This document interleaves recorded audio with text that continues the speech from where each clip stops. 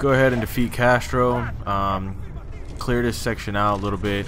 How you can. There's gonna be a buttload of guys. Um, run into the next burning house, sort of say. There's gonna be a bedroom with a TV and a nightstand, and there you go, your intel.